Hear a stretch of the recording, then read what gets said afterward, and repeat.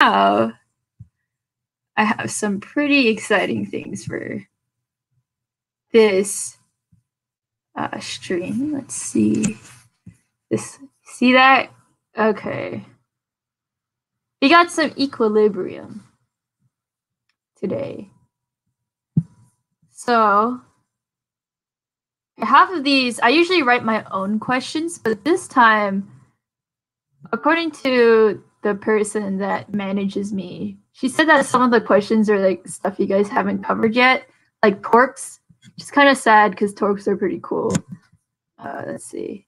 Oh, I don't know how to like zoom in to like. Oh shucks. Okay, looks like you guys got to deal with this screen size. Let's see if I can make it a little bit nicer. Ooh. Okay, hold on a minute. Let me let me let me just adjust the size so it's not like ugly looking. Okay. I think that's good. So let's start with this problem. Okay. Car drives down a 25 degree incline at a constant rate of speed uh, the force of friction keeping the car from accelerating is 503 newtons. Find the weight of the car and the normal force. The tricky thing about this question is that in your head you can like imagine this situation happening, right? You got you got an incline and you got a car, right? You, you just you just chilling there and you you just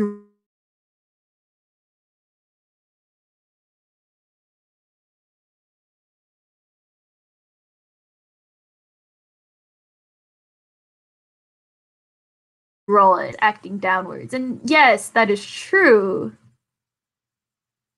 But if it's going at a constant speed, if it's going at the same rate, then that means all of the forces are balanced. So this would be equivalent to the car on an incline and the car completely stationary.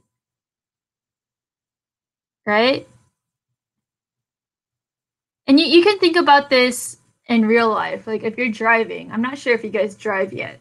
Uh, I'll be completely honest, I still don't drive, but when you press the gas and let it go, you kind of coast, right? And when you're coasting, you're not applying any additional force, but you're still in motion and you're still taking the momentum from your initial acceleration and continuing it with it. So just because you're in motion doesn't necessarily mean that there's an acceleration being applied or I mean a force being applied. The only time you understand that a force is being applied is when it's accelerating or becoming faster than what it was before. And that's just not directly intuitive to like everyday life, but I'll I'll continue with this content. Okay. So got a 25 degree incline. Okay, 25 degrees. And you can simulate this as a this block as a car. I'm too lazy to drive it, draw it again. Okay, the force of friction keeping the car from accelerating is 503 newtons. So usually it would accelerate downwards, right? But the force of friction always counteracts the, the direction of motion. So it's actually going upwards 503 newtons. Right? Okay, so we just gotta find if this is at equilibrium because there's no acceleration. So we can imagine this as a stationary block. And that implies that all of the forces are balanced. And currently there's a lot of forces going on here. Right? There's this downward force called the mass times gravity, which is just the weight of the block. You have normal force, right?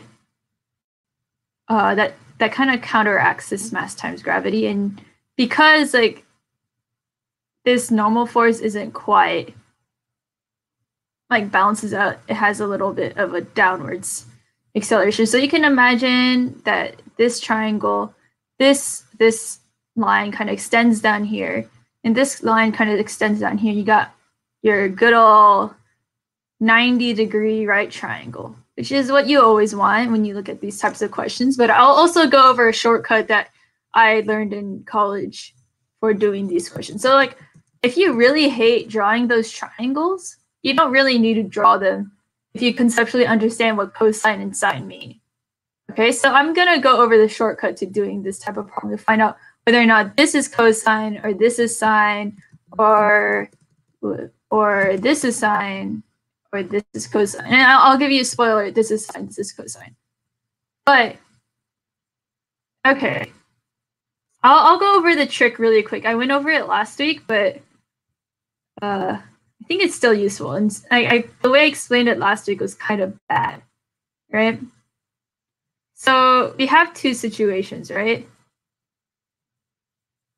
So this is where the angle, angle theta, so this angle, theta is equal to zero, and this theta is equal to 90, right?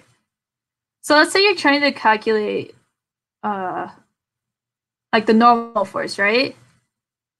So when it's in this this uh, arrangement, the normal force is going to be equal to the weight, right? So we know that the normal force is going to be mg something theta, right? But clearly this, because mg is equal to normal force, we know that this value, okay, hold on, hold on. This value must be one. So we know that some trig function, something, some trig function, if you input zero, it comes out one. And the only function that does that is cosine. So cosine 0 is equal to 1. So normal force is equal to mg, right? This situation, this is a complete 90 degree, right? There is no normal force, and this is just going to experience straight acceleration down in the form of mg, and there is absolutely no normal force. So we know that we want to calculate normal force, and there's something here and when you input zero, it pops out zero. And this is once again cosine. So when you want to find the normal force, you use mg cosine theta, right? And you can apply this exact same idea with this angle, right? Sine. So when you're trying to accelerate this way, when you're in this configuration, this has zero uh, perpendicular velocity. So this is going to be sine. And this one has like almost completely oh this is this is new this is normal force i made a mistake there but this is completely accelerating downwards. So once again mg sine theta. But that, that's a really quick crash course. It's a it's a really nice shortcut because like i feel like teachers expect you to always draw force diagrams. And that can be annoying especially with these triangle problems because it just gets so convoluted. Like there's just too many angles sometimes. Like just just forget about the triangles and just just use your brain like it, it's pretty simple i think anyway so we know that this force going this way we know we know that it needs to balance out 503 newtons right so we need we need to find this that is equal to 503 newtons. And that is equal to mg sine theta. Right? And that's pretty simple. You just go plug and chug. 503 newtons is equal to mass, which is okay. I guess it's trying to find the weight. If it's trying to find the weight, we can just keep it in mass times gravity because the weight is always in newtons. Weight is a force. Sine 25. Okay. Uh, let me. I always use my computer calculator because my TI is dead. Okay. So 1190 newtons. 1190.19. 1190.2. And that implies that the mass is going to be about like it's about one uh, 20 kilograms ish. It's a pretty light car. You know, these types of questions aren't always like super realistic. Like, if it's not accelerating at 503 newtons, you can tell that this is not a heavy car. Okay, so we got another problem here. You got a 150 kilogram light. Let's draw this. Suspended by two cables. One cable makes an angle of 65 degrees. Oh, I think I misordered these questions. Let's start with the easier one first. No, number three is easier. Okay. So a 570 Newton tightrope walker stands at the center of the tightrope so that each half of the rope makes an angle of 10 degrees. So I know that the degree sign is kind of weird here with the horizontal. What is the tension in each half of the tightrope? So let's draw this right here. In my head, this is what it looks like, right? You got your dude. He's like, hey, I'm on a tightrope. Pretty happy about it. Pretty excited. And then you have, ooh, I have colors. I should utilize it. Okay, 10 degrees with the horizontal. That implies that this guy is 10 degrees. This guy, ooh, my drawing isn't like the best. 10 degrees. Okay, let's use another color. So, what is it? This is 10. This is 10. Okay. So, in order for things to be at equilibrium, right? Oh, hold on. Let me let me get my colors back. So, in order for things to be at equilibrium, you need all forces in the x direction to be equal to zero and all the forces in the y direction to be equal to zero. Because Otherwise, it would be in motion, right? Like if it were completely still and you were to apply a force to it, of course it would start moving, and that implies it's not at equilibrium.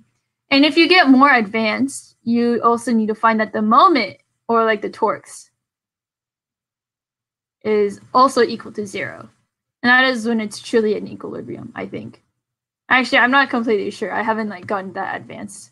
But we'll we'll do moments slash torques in just a moment at the very end.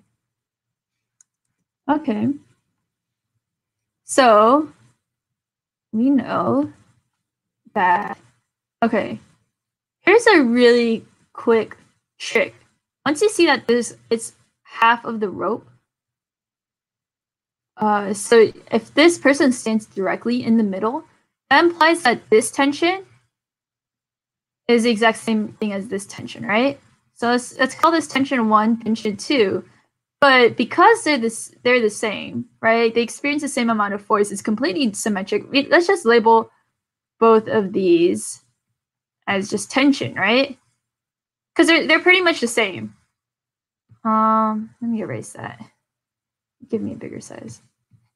Oh, just kidding. Okay, but but we know that the tensions are pretty much the same if you see a symmetrical problem, and at that point you just immediately shortcut because this problem is actually extremely easy to solve.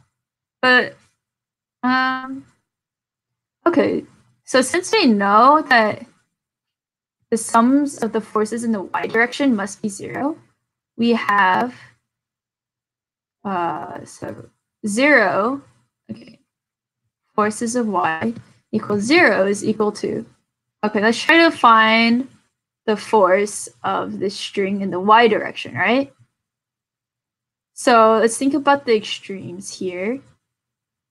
Um, this is going to be sine. So tension, sine, theta.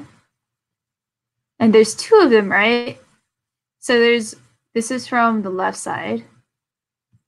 Oh. And then plus t sine theta, right side. And then this is pulling up but there's a 570 Newton tightrope walker in the middle weighing it down. So you get a subtraction sign minus 570, right? Because this guy's pulling it up, this guy is pulling it up, whereas this guy is pulling it down. Right? We want that to be reflected inside the signs. Or else we can't solve this at all. Because like the directionality of these forces really do matter. Okay, so this is equal to 2, 2t sine theta is equal to 570 newtons. Okay. Uh, two. Okay. So that's just 285 divided by sine 10. Uh, divided by sine 10. So the tension is equal to 1641.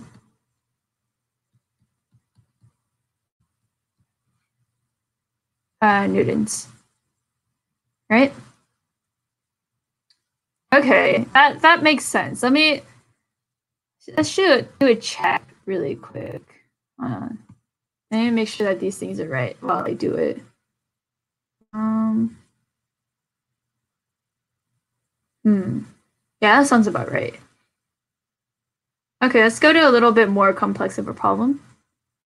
So we have a 150 kilogram light. Suspends on two cables. One cable makes an angle of 65 degrees at the horizontal. Uh, okay. Let's see. So this one, this one's a little bit steeper, and this one's like kind of more flat-ish. You got your little traffic light. Right. 150 kilogram. That is a really heavy traffic light. One cable makes an angle of 65. Another angle 40 degrees, right? So, okay, let's, let's just draw the triangles here. Okay. So we got, once again, the forces in the x is equal to zero. Summation of forces in the y is equal to zero. And if you remember the last problem, I didn't need to really consider the net force in x, right? Because this person, right, does not create a force in the x direction. And if we know that this x direction is equal to that x direction, we already know it's an equilibrium, right? And I guess the only, I mean, you, you can't really get any information from that. You need to use a Y force. But this guy is a little bit different, right? I mean, not really. I think, I don't think you still need it actually. So once again, we have the summation of forces in y is equal to zero, which is equal to, let's call this T1, call this T2. T1, so this is pulling upwards, right? Be very conscious of the signs. T1 sine of 65 degrees plus T2 sine of 40 degrees minus 150 kilogram. Um, let me. Oh, it's kind of getting to the edge over there.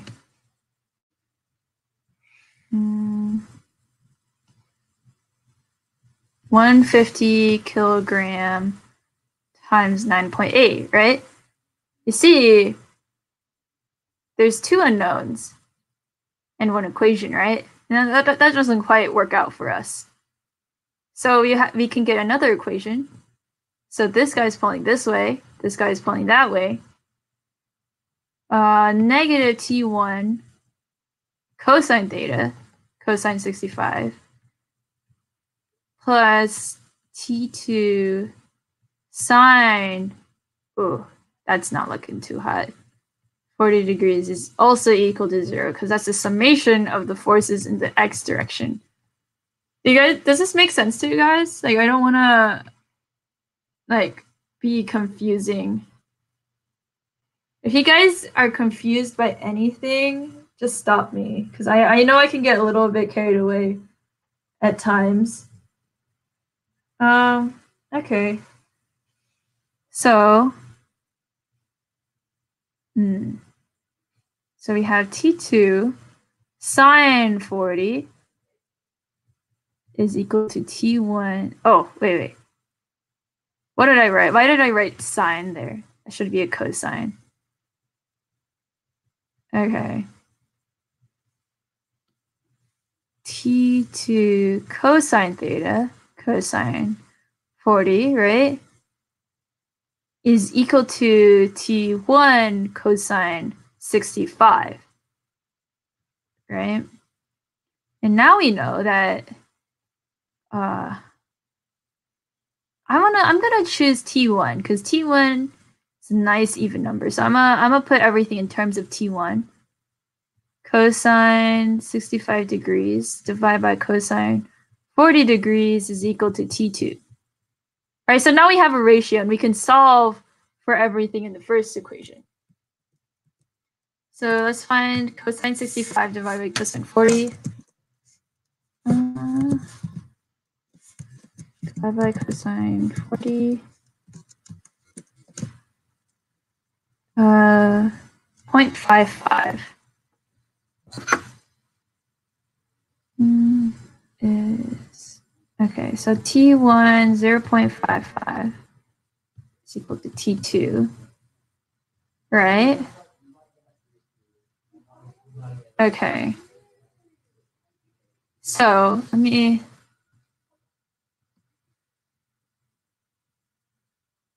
Oh, this is getting a little bit large. Okay. Uh, I'm not sure if you guys can see that, but yeah, hopefully you guys can still see the work that I'm doing. Uh, yes cosine 65 divided cosine 40. Is that right? Let me let me plug it in again. I'm a little bit paranoid with these questions. Like I feel like I'm doing everything right, but also wrong at the same time. Okay, so we got T1, tension of 1 is equal to 0 0.55 of tension 2. So f of y is equal to uh, 0 once again equal to, let's plug in everything. T1, just have regular old T1 sine 65 plus T2, which is just T1 times 0 0.55 because that's the ratio times sine 40 minus uh it's just uh, let's run around 9.8210 minus 1500 newtons right? So 1500 newtons is equal to T1 0. Point, uh, that's T1 sine 65 plus 0 0.55 sine 40. And you can do that really quick. Sine of 65 plus 0.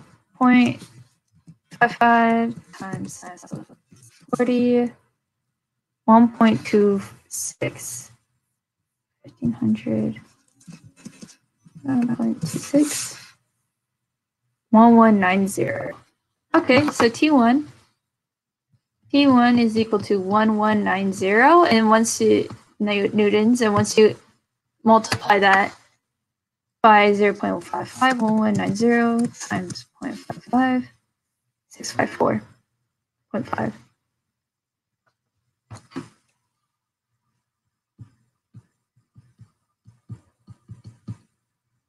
Okay. So, let's continue further. So this is starting to get into torque questions, right? And like equilibriums. Um, okay. So these ones you always want to draw a diagram for. Let's see how much I have left. Okay, I got three more. I'll, I'll spend 10 minutes on each, I guess. My friend and I are sitting on a seesaw.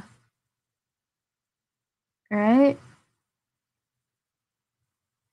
Ooh, that's an ugly seesaw.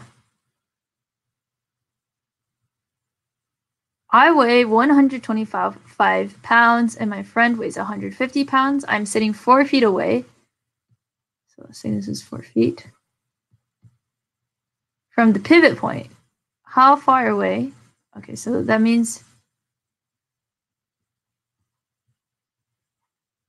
fun fact about these torque questions. Okay, I'm not, first off, have you guys heard of torque before? because I don't want to like jump into something too quick before making sure you guys know what I'm talking about. anyway, I, I should go over it anyway. Torque is equal to force times radius, right? And the way that I kind of think about it is that, like, if you have a really long pole arm, right? Like, once you like change a small angle of it, it has like a very large change in distance, right? Like, if let's let's say you have um like one of those selfie sticks, right? Like if you if you tilt your arm up by like 10 degrees, it can like have this like huge difference in distance, right? And the other way can go like it can go the other way, right? You can have like you can use a lot of force and move it like a little bit of force and move it a long ways. And you can move something that has a lot of force but a small distance, right? It's kind of it's kind of this like balance of like forces and radii, right? So another way to describe torque is by the moment, right? And you got a pivot point, right? So fun fact about pivot points, you don't really need to care about forces directed towards the pivot point. But you can imagine that even if all the net forces of y is equal to zero, so that's the initial condition of equilibrium we started out with here, right? Even if all the equilibrium forces in y is zero, does not necessarily mean equilibrium. Right? It could equal equilibrium in certain situations, but not all, right? So let's say that I have my, I don't know, 150 pound friend here, and there's there's an upwards force of 200 uh, 75 pounds exerted, exerted by this pivot, right? Because the force in y direction is zero. But if you were to hold this constant, you would see that, oh, just realized I, I put it in equilibrium by accident. Um, I mean, it, it, you can apply the 275 force here, and you would see that this would start rotating in like this direction, right? it does not necessarily mean it's at equilibrium, even though all the forces together is zero. Okay, so that's saying that if this operates forces here. Um, so the way that you take torques is that you have a pivot moment, right? Not pivot moment, like a pivot location, and you calculate all the forces in that direction. So let's say that the moment in y, let's say that this direction is positive, right? is equal to zero. Because that implies that it's not spinning. And if things are spinning you definitely know it's not in equilibrium. And you don't you you want things to be in equilibrium in these statics problems.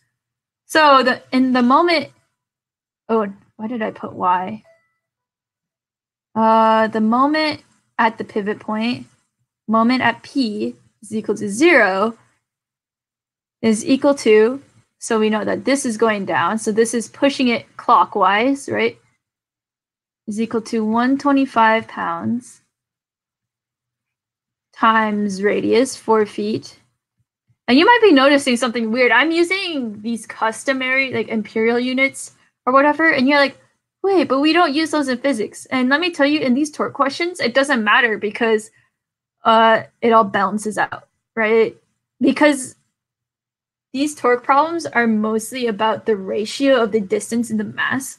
And as long as you maintain that ratio, it should be fine. Like you your result will obviously be in pounds, but it doesn't really matter. It's still gonna work out.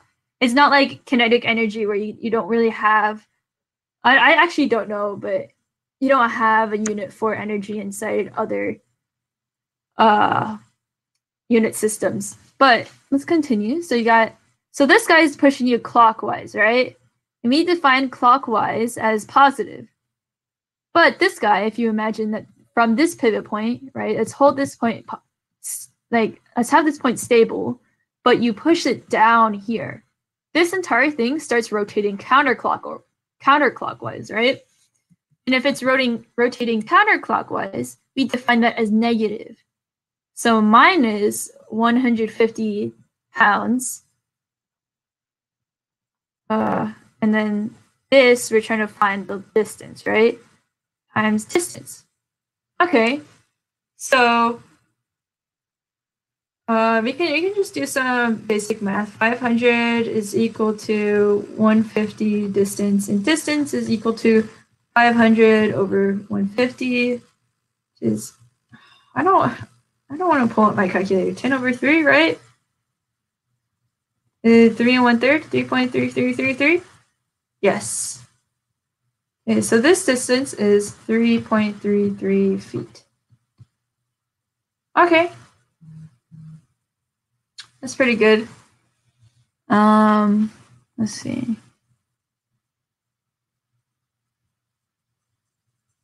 I'm sitting with a different friend. Okay. See if there's anything else I want to cover here. That's basically it. Uh, I'm sitting with a different friend. I once again weigh 125 pounds, but this time I sit six feet away. Let's see. Let's get my brush out. Let's draw this. Ooh, I'm really bad at drawing these seesaws. Okay, got a pivot point. That looks like a Subway sandwich. I don't like that at all, but I'll keep to it. I weigh 125 pounds. All right, and I, I'm sitting over here, six feet away.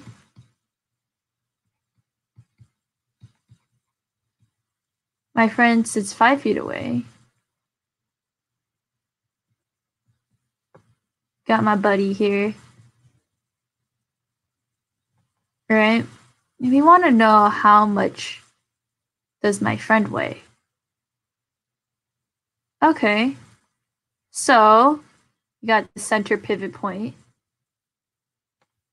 Um then we have let's take this moment calculus is positive moment but the point say this is positive is equal to zero is equal to okay this guy is pushing down. 125 libs times six feet. Uh, let's see. Oh it's getting tight again I, I wrote this way too big. I did, I did not need to write it that big.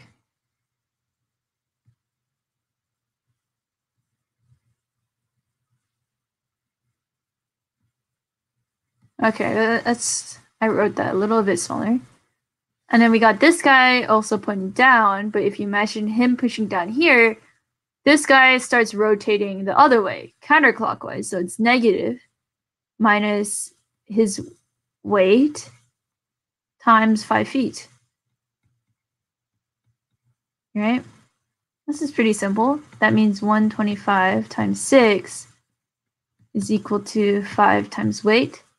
125 divided by 5 is 25 times 6 is equal to weight. That's going to be a 150 pounds. Yes. Was he 150 pounds in the last one? Gosh darn it. Yeah, he was. Okay. Uh, let's go to the next one. The next one is a little bit more conceptual, right? And I kind of designed it to be that way. I have a massless bar that is one meter long. Okay, let's draw this bar. Oh, I'll use I'll use a triangle tool this time. Okay. Okay. Ooh, stop that. So I have a massless bar. And that, that's going to be a key word right now massless. Right? And gravity only affects things that have mass. Right? Like if you think about the force of gravity, mass times gravity, if there is mass zero, then the force of gravity is zero. Okay, so basically this guy you can kind of imagine is in, in space, right? I exert a 20 newton force on one end of the bar.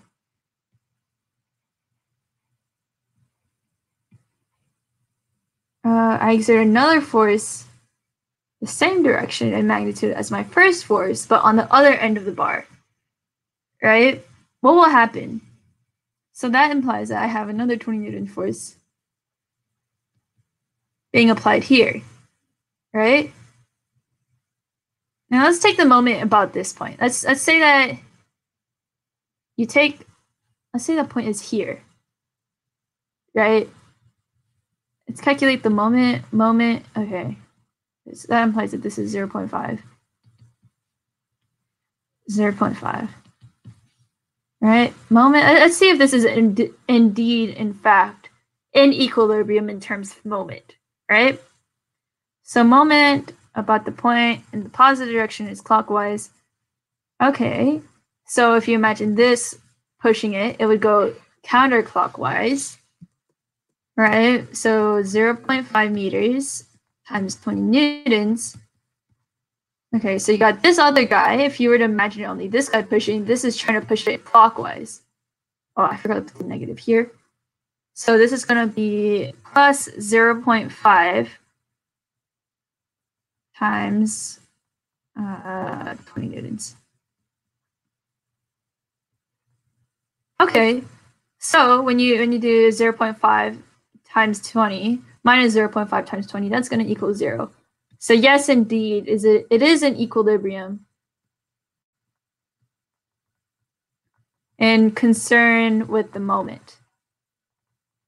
But if you think about this bar in terms of the net force, okay, we can we can also talk about net force in the x direction, right? Is equal to zero, and there, there's nothing nothing moving this left or right. So net force, the x direction is zero, but you have a net force in the y direction, right?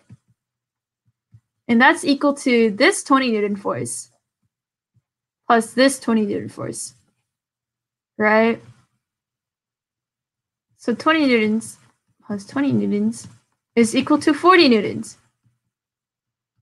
Right? If you want to be at equilibrium, because at equilibrium, sum of the summation of forces in y direction should be zero. Right? And you, you'd be like, wow, that's weird. Because when I think about like when I have, oh, like when I have like this pencil, right? Like I'm putting like the same force up here and up here at the same time, right? And you're like, wow, but this is at equilibrium. And something that you need to consider is that there is another mass that is pulling this guy downwards, and that's mass times gravity. So in this situation, if this pen were massless and I were to apply the same amount of force as I am right now to a massless pen, this guy would be accelerating upwards. But because of the way that gravity works, that the normal force automatically reaches equilibrium with whatever force I'm applying to it. Okay, so in this situation, so in the situation in part A, uh, what was it? Forces in Y, not in equilibrium, but the moment is at equilibrium, right? This time, uh, we have a different situation over here. Okay. I, I drew this all way too big. I like drawing things very large.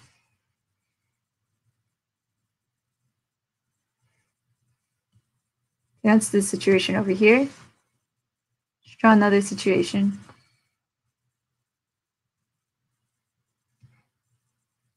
Okay. So we have this time I exert a force in the opposite direction, but with the same magnitude at the under, other end of the bar. So I still exert a 20 newton force here, but I exert a downwards 20 newtons here, right? And this guy is completely massless. And this uh, this this is very intuitive with like the real world, right? Like if you imagine that I have this pen and I exert upwards force here, exert downwards force here, it's not equilibrium right? So this this is something that's more reflective in real life. And even if you were to have mass in this pen, it would still accelerate downwards. But let me let me just demonstrate why. Okay, so in this situation, you got the summation of forces in the y direction is equal to zero. It's just equal to positive 20 on the right hand side minus 20 newtons on the left hand side because it's a downward force. And you have you do you have equilibrium in terms of y forces, right? So this is an equilibrium. Check mark. But you also have a moment, right? Let's take the moment about here. And it, it really doesn't matter where you take the moment. If you take the moment about here, take the moment about here, take the moment about here, it doesn't matter where you take the moment because it's ultimately going to be the same, right? Um, okay. So, okay, I, I shouldn't say that the moment is the same in all aspects. The moment is only the same at equilibrium. So that, that's probably something I should say carefully. But let's say that in the you put it in the middle, right? Moment about point, positive direction, right? Is equal to I shouldn't say zero quite yet, but you say that clockwise is a positive direction, but this is going opposing that. So 20 newtons times 0.5, right? Minus 20 newtons is opposing it. And you can imagine this guy, he's also going counterclockwise. So both of these guys are pushing this rod to go into clock counterclockwise rotation. And that is definitely not an equilibrium, right? So you got minus 20 newtons times 0.5 meters, meters. Okay, and then you see that this is indeed a moment of 20 newtons, negative 20 newtons in fact. And that is not an equilibrium. Okay, so we can extract a lot of information from this idea, right?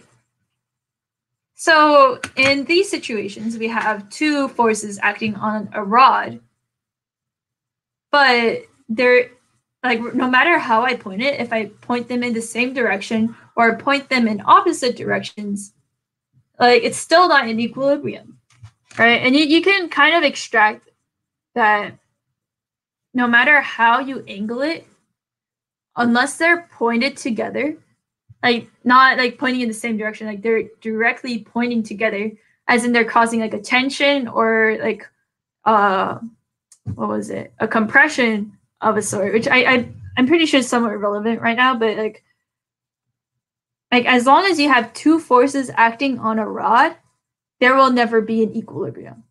Other than that one case where they're pointing in the same direction. Right? So you, you can kind of see it in these situations. Like on this other end, like as long as I point in any direction, it's still there's still going to be some sort of moment. And if there's not a moment, it's con- complemented by the force in the y direction, right? So it doesn't really matter what you do in this situation. It is physically impossible to reach an equilibrium with only two forces acting on a bar and that's just that's just a fact of life. And we just like demonstrated that right here. Okay. So that's pretty much all i have for this week. It's pretty simple. Uh i have more questions. Okay. Let's see. Um okay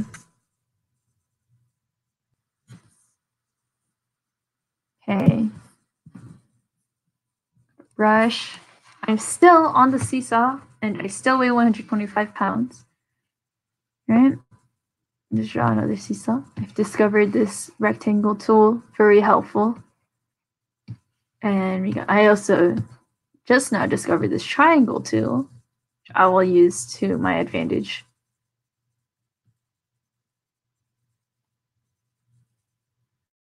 Okay, Adding little black dots everywhere. Okay.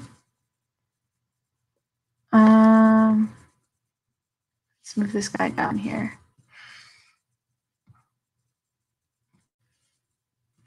I'm still on a seesaw I still weigh 125 pounds.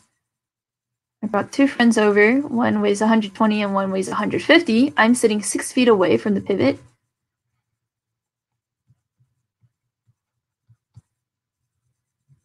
Uh,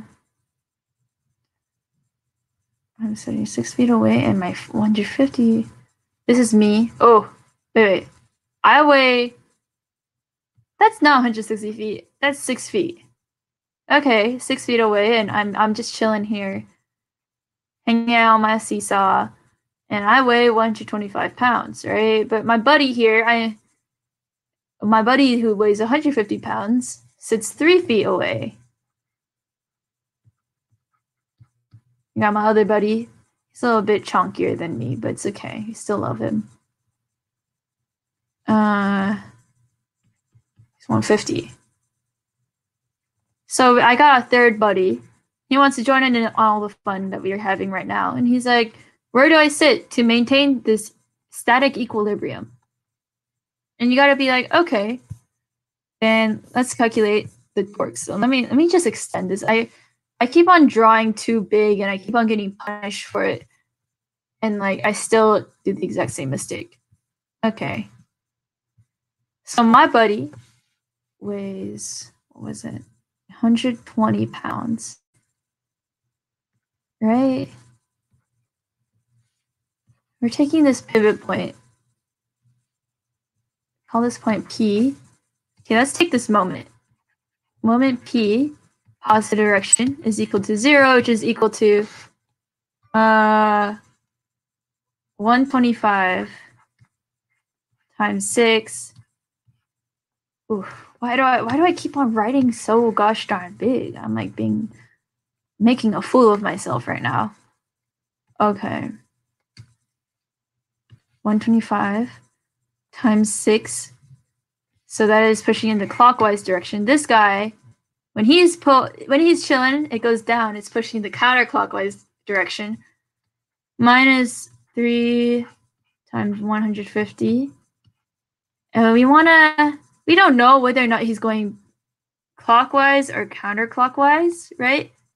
So let's just assume positive, right? Because if he does end up sitting on this side, the x direction will end up being negative. So let's say positive distance times, what was it? How much did he weigh? My buddy weighed 120. Okay. So I don't I don't know whether or not he's gonna sit on this side or that side, and that's why we gotta check the torques right?